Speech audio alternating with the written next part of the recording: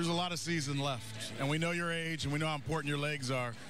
You ready for a good run of over 60 some days? Oh, absolutely. I'm I'm so ready. I'm um, I'm thankful we could uh, we could um, at least salvage the series and, and win this last one, and uh, you know take it into New York and, and, and Washington, and you know just uh, go out there and win.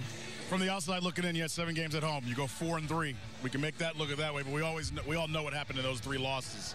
Does this type of win kind of settle everybody down to go on this road trip? Oh, absolutely. I mean, we, we, we pitched well today. That was the thing. We, we've hit the, pretty much the whole series, the whole homestand we've hit.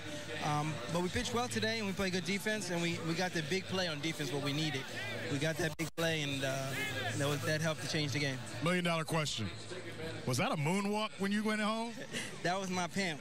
That's how I pimp it. Bang. Bang.